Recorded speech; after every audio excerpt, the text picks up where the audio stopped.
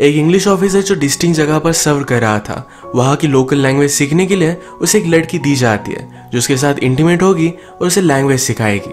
Problem तब आई जब उसे उससे प्यार हो गया। हेलो फ्रेंड्स आज मैं आपको द स्लीपिंग डिक्शनरी ये हॉलीवुड रोमांटिक मूवी एक्सप्लेन करने वाला हूँ। अगर आपको वीडियो अच्छा लगता है तो प्लीज़ इसे लाइक और कमेंट ज़रूर कर दीजिएगा। अब बिना किसी देरी के एक्सप्लेनेशन स्टार्ट करते हैं। हमारी स्टोरी स्टार्ट होती है 1936 में। उस वक्त इंग्लैंड पर बहुत सारे देशों पर राज था। अगर किसी को भी गवर्नमेंट जॉब करना था तो उनके एजुकेशन के लिए उन्हें रिमोट सी कंट्री में भेज दिया जाता था। यहाँ पर वो सर्व करते थे। जब वो वापस आते, तब उन्हें ये जॉब दे दी जाती है। ऐसा है हमारा मेन कैरेक्टर जिसका नाम है जॉन इस सर्व करने के लिए सेवाग नाम की कंट्री में आया। ये कंट्री उतनी डेवलप नहीं थी। यहाँ के बहुत सारे लोगों को उसकी लैंग्वेज भी नहीं आती। जॉन जब पहुँचा तो जिसे उसकी लैंग्वेज आती है, उसे वेलकम करने के लिए आया हुआ था। जॉन को फिर वो उसके ऑफिसर के पास लेकर आता है। जॉन के ऑफिसर का नाम है हेनरी, और हेनरी बहुत सारे सालों से यहाँ रह रहा है। हेनरी उससे पूछता है कि तुम्हारे पास इतने सारे ऑप्शन थे, तुम यही क्यों आए? जॉन ने कहा कि मेरे फादर ने यही सर्व किया था, इन लोगों को एजुकेशन देना चाहते थे। अपने फादर की विजन वो खुद कंप्लीट करना चाहता है। हेनरी उसे कहता है कि सक्सेस हो नहीं पाएगा। यहाँ के लोग बहुत ही अलग हैं, इन्हें एजुकेशन देकर कोई भी फ़ायदा नहीं। या लोकल लोगों के ट्राइब के हेड से मिलने के लिए फिर उसे लेकर गया।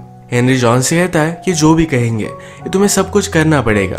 वहाँ पर जाने पर उसे ड्रिंक देते जॉन ड्रिंक नहीं करता, पर ये उन लोगों का डिसरिस्पेक्ट होगा तो इसी वजह से जॉन को ड्रिंक करना पड़ता है। ये ड्रिंक एक बहुत ही ब्यूटीफुल लड़की लेकर आई थी। इसका नाम है सलीमा, जो हमारी और एक मेन कैरेक्टर है। जॉन ने उसे देखा और उसे बहुत अच्छी लगी थी।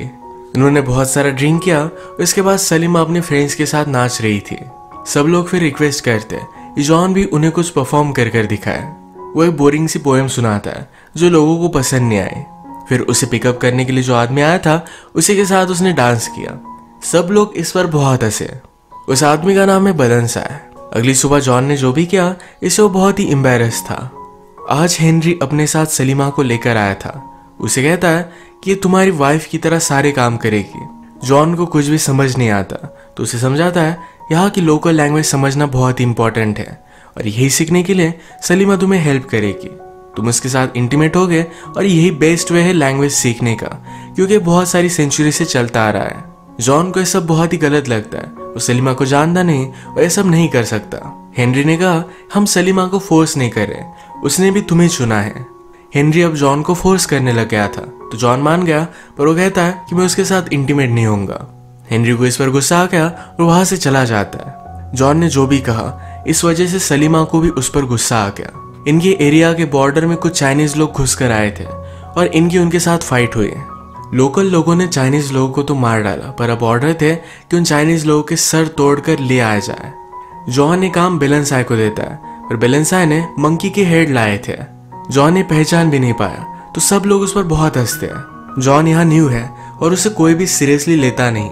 उसे इसके बारे में कुछ करना पड़ेगा। वो जब घर पर आया तो जॉन के शेफ ने एक लड़का लाया हुआ था। उसे कहता है कि मेरा नेफ्यू है, ये तुम्हारे साथ इंटीमेट हो सकता है। जॉन सलीमा के साथ इंटीमेट नहीं होता तो शेफ को लग रहा था कि गे है। जॉन को इस पर गुस्सा आ जाता है। उसने कहा कि यह सब नहीं चलेगा। उसने गुस्से में सलीमा को भी फायर कर दिया। सलीमा भी गुस्से में बाहर निकल गए। शेफ जॉन को समझाता है कि अगर सलीमा घर पर चली गई तो लोग समझेंगे कि वो बहुत ही अगली है। उसका मज़ाक उड़ाएँगे। जॉन भी फिर सलीमा के पीछे पीछे गया।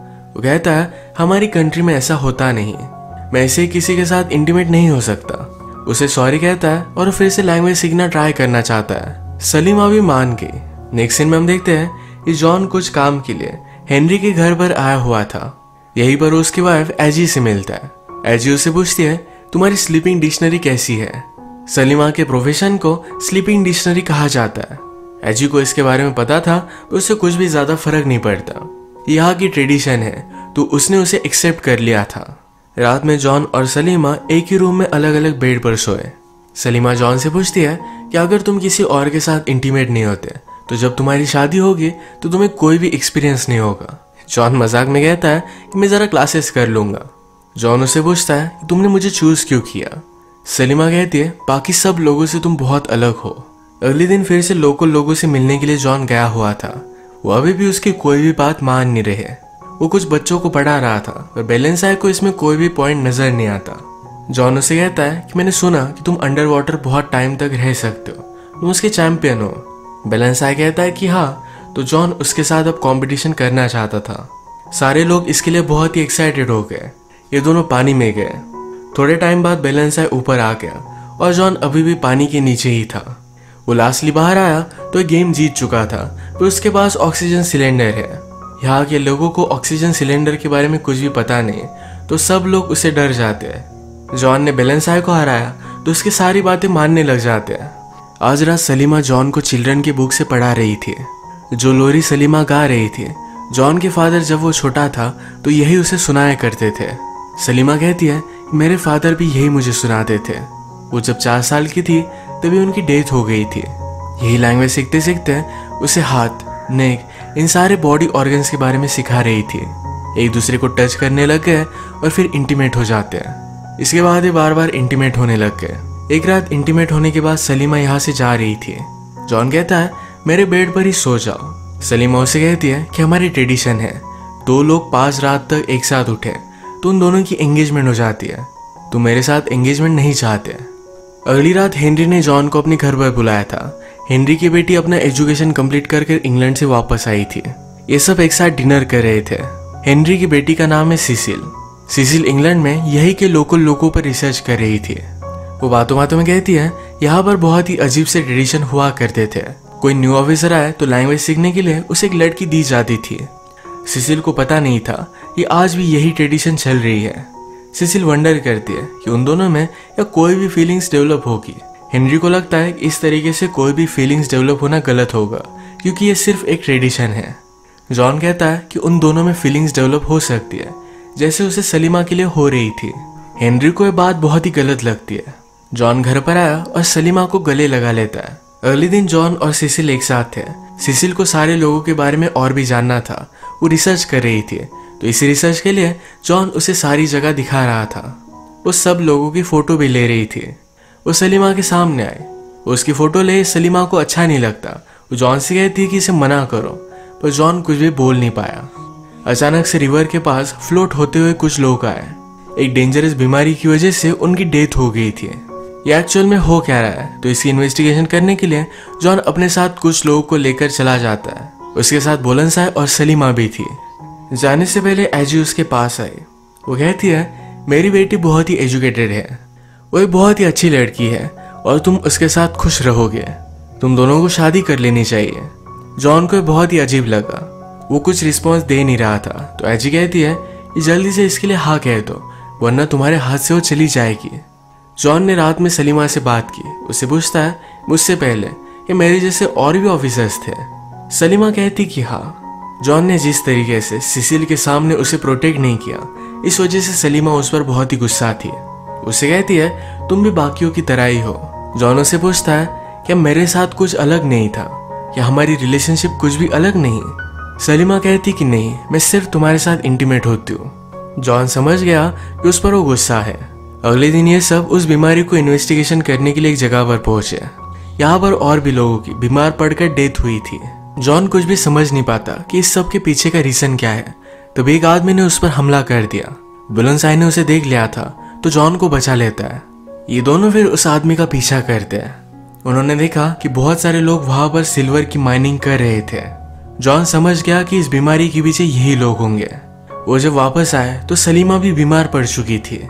जॉन ने इस पर सोचा तो रियलाइज़ करता है कि सलीमा ने राइस खाया था। जो लोग माइनिंग कर रहे थे, उन्होंने आदिवासी लोगों को राइस दिया। अगर सब लोग मर जाएँगे तो उनकी माइनिंग के बारे में किसी को भी पता नहीं चलेगा। यही राय सलीमा ने भी खाया था, पर ये स्लो पॉइजन है तो उसे कुछ भी नहीं होगा। पर जो लोग हमेशा से इसे खाते आ रहे हैं, उनकी डेथ हो जाती है। अब यहाँ के जो लोकल लोग थे, ये बहुत ही डेंजरस है। अगर उन्हें इसके बारे में पता चलेगा तो सारे लोगों को मार डालेंगे। बोलन साय जॉन से पूछता है कि क्या मुझे इन्हें सब कुछ सच बता देना चाहिए? जो उन लोगों ने किया, वो बहुत ही गलत था। इस वजह से जॉन भी उन्हें मारने के ऑर्डर दे देता है। जॉन ने रियलाइज़ किया कि सलीमा बीमार थी तो उसके लिए बहुत ही वरीड था। वो उसके बिना जी नहीं सकता। उसे सब बात कह देता है। उसने उसे मैरिज के लिए प्रपोज किया। सलीमा कहती है, हमें कोई भी अलाउड नहीं करेगा। ये बहुत ही हार्ड होगा। जॉन कहता है कि ऐसा कुछ भी नहीं है। लोग हमें समझ लेंगे। जॉन ने सलीमा के बारे में जब हेनरी से बात की तो हेनरी उस पर बहुत ही गुस्सा हो गया था। वो कहता है, ऐसा कुछ भी अलाउड नहीं। यह हमारी गवर्नमेंट को डिसरिस्पेक्ट होगी। जॉन सलीमा को जाने नहीं दे सकता। ऐसा बात एजी ने सुनी। एजी ने उसे कहा कि, सलीमा, तुम्हारी पास थी। अब तुम आगे बढ़ो। हेनरी उसे एक ऑफ़र देता है। कहता है, तुम अब फिर से इंग्लैंड जाओगे। वहाँ पर शादी करोगे। और फिर अगर तुम्हें लगा तो फिर से वापस आ सकते हो। पर अगर तुमने ऑफ़र नहीं ली तो उन माइनर्स को मारने के लिए मैं हमेशा के लिए तुम्हें जेल में डाल दूँगा। इसी के पैरेलल में सलीमा को भी ब्लैकमेल किया जाता है। अगर उसने जॉन को जाने नहीं दिया तो बोलन साय को लोग मार डालेंगे। बोलन साय के फादर सलीमा को रिक्वेस्ट करते सलीमा मानती नहीं तो उसे केज में डाल दिया गया था। जॉन भागते भागते उसके पास आया। सलीमा उसे कहती है, मैंने तुमसे कहा था, ये सब पॉसिबल नहीं। हेनरी सलीमा और जॉन को लास्ट चांस देता है। अगर वो माने नहीं तो इन दोनों को जेल में डाल दिया जाएगा। सलीमा जॉन को जेल में नहीं देखना चाहती तो कहती है कि अब मैं इससे कभी भी नहीं मिलूँगी। सलीमा ने भी जॉन को जाने के लिए कहा। इसके बाद हम देखते हैं कि डायरेक्टली एक साल बीत चुका था। जॉन की सिसिल के साथ शादी हो चुकी है। इनकी वेडिंग नाइट पर सिसिल जॉन से पूछती है या तुम्हारी कोई स्लीपिंग ब्यूटी थी? जॉन उसे सच कहता है, पर सिसिल को इससे कुछ भी फ़र्क नहीं पड़ता। जॉन ने उसे खुद प्रपोज किया था। अब एक साल हो चुका था तो जॉन ने फिर से डिसाइड किया कि वो उसी जगह पर जाएगा। वहाँ आने पर इन्हें वेलकम किया जाता है। अब वहाँ के सारे बच्चों को जॉन पढ़ाने वाला था। सब लोग जॉन को वेलकम करते हैं। रात में इन्हें मूवी दिखाई जाती है। पर इन सब लोगों में जॉन सिर्फ़ सलीमा को ढूंढ रहा था। ये बात सेसिल ने नोटिस की। वो जॉन के साथ रात में इंटीमेट होना चाहती थी, पर इस थॉट को शेक नहीं कर पाती। उसे कहती है, मुझे तुम्हारे और सलीमा के बारे में सब कुछ पता है। उसकी अब शादी हो चुकी है। उसे एक बेटा है। वो अपनी लाइफ में खुश है। सिसिल भी चाहती थी, जॉन उसके साथ खुश रहे। जॉन उसे अश्योर करता है कि उसके साथ खुश है। अगले दिन जॉन अपने ओल्ड घर को देखने के लिए गया। वहाँ पर एक और ऑफिसर है, उसकी और कोई स्लीपिंग डिक्शनरी। इस ऑफिसर का नाम था नेविल। जॉन ने नोटिस किया कि नेविल ने अपनी स्लीपिंग डिक्शनरी को बहुत मारा है। जॉन को इस बात पर बहुत गुस्सा आया। उसने नेविल को धमकी दी कि अगर तुमने फिर से उसके साथ ऐसा किया, उसे मारा तो रात में तुम्हारा प्राइवेट पार्ट काट देगी। सिसिल और जॉन जब से यहाँ आए तो एजी उनका ऑब्जर्वेशन कर रही थी। उसे लगता है कि सिसिल और जॉन के बीच में उनकी रिलेशनशिप उतनी अच्छी नहीं। ये सब वो जब बात कर रही थी, तभी जॉन ने यह सब सुन लिया। वो अंदर आकर सिसिल को किस कर लेता है। उसने एजी को जाने के लिए कहा। एक दिन जॉन जब रिवर के पास था तो उसने सलीमा उसके बेटे को देखा। सलीमा का बेटा वाइट है, इसका मतलब है वो उसका ही बेटा है। उसे बहुत ही शौक लगा। और वो सलीमा से मिलना चाहता था।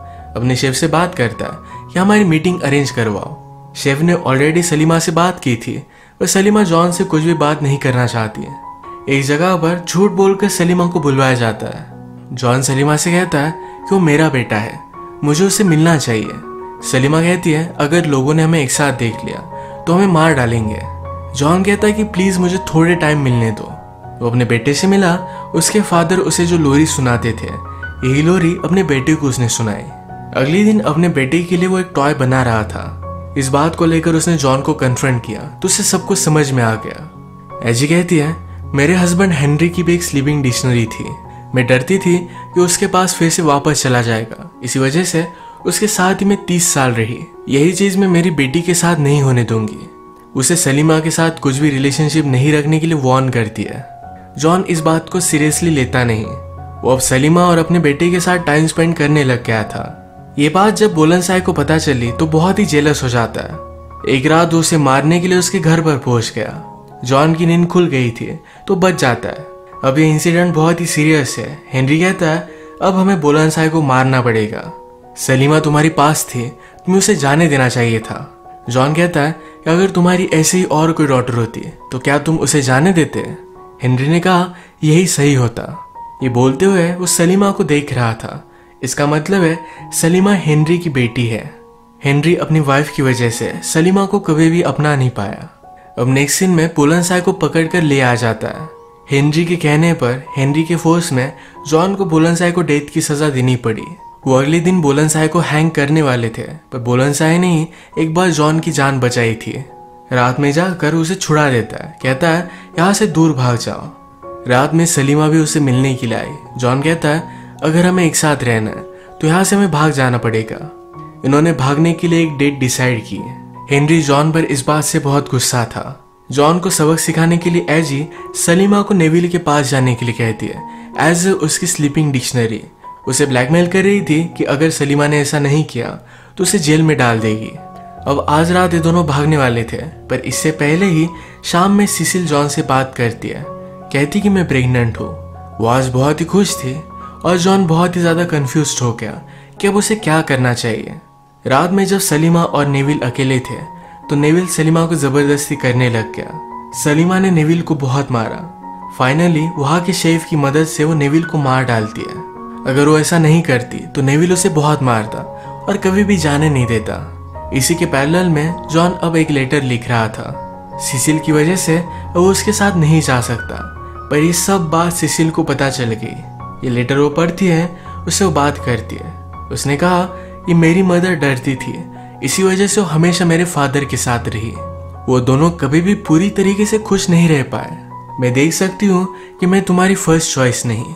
तुम मुझे अभी भी उतनी प्रायोरिटी नहीं देते। सलीमा हमेशा के लिए तुम्हारी फ़र्स्ट लव है। तुम्हें उसके पास ही जाना चाहिए।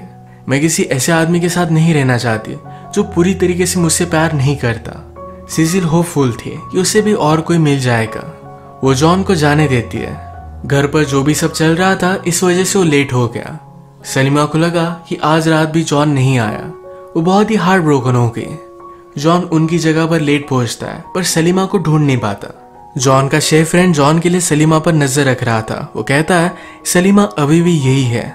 सलीमा ने नेविल को मार दिया तो उसके मर्डर के लिए हेनरी सलीमा को ढूंढ रहा था। उसे ढूंढ तो लेता है, पर जाते जाते अपनी गन उसने सलीमा को दे दी। उसकी बेटी है और कभी भी उसके लिए बुरा नहीं चाहता। सलीमा भी उसे गले लगा लेती है। उसे हमेशा से पता था कि हेनरी उसके फादर है। हेनरी जब घर पर आए तो एजी उस पर बहुत ही गुस्सा थी। कहती है, क्या तुम कुछ भी करने नहीं वाले? हेनरी कहता है, मैं मेरी बेटियों के लिए हमेशा सही बात चाहता हूँ। वो इस सारी बात को दबा देगा। यहाँ पता चलता है कि नेविल अभी भी ज़िंदा है। वो सिर्फ़ इंजोर हो गया था। अब एजी बहुत ही गुस्सा थी तो उसने जाकर नेविल को ऑर्डर दी। जाओ और सलीमा और जॉन को मार डालो। जॉन ने हर जगह पर सलीमा को ढूंढा, पर फाइनली उसे ढूंढ ही लेता है। ये दोनों एक दूसरे को मिलकर बहुत ही खुश थे। तभी नेविल उनके पास आ गया। उसके पास गन थी। उसने जॉन को हथकड़ियाँ पहना दी। वो सलीमा के साथ ज़बरदस्ती करने लग गया। तभी अचानक से कुछ आदिवासी लोग वहाँ पर पहुँच गए। ये वही लोग हैं जिनको मरने से जॉन ने बचाया था। उन्होंने नेविल को मारकर इन दोनों को बचा लिया। सलीमा जॉन से कहती है अगर तुम मेरे साथ रहे तो तुम कभी भी वापस नहीं जा पाओगे। तुम्हें यही इन जंगलों में रहना पड़ेगा। जॉन कहता है, मैं मेरी फैमिली के साथ हूँ। मुझे किसी भी चीज़ की ज़रूरत नहीं। ये तीनों एक साथ बहुत ही खुश थे। इसी मोमेंट पर ये मूवी एंड हो जाती है। अगर आपको एक्सप्लेनेशन अच्छा लगा तो प्लीज़ इसे लाइक कर दीजिएगा। मैं बहुत सारी मूवीज़ लेकर आते रहता हूँ तो प्लीज़ इस चैनल को सब्सक्राइब कर दीजिए और बेल नोटिफिकेशन आइकॉन दबाने मत भूलिएगा। हम फिर से मिलेंगे और एक निम्बू के साथ। तब तक के लिए थैंक यू और आप अपने आप का ख्याल रखिए।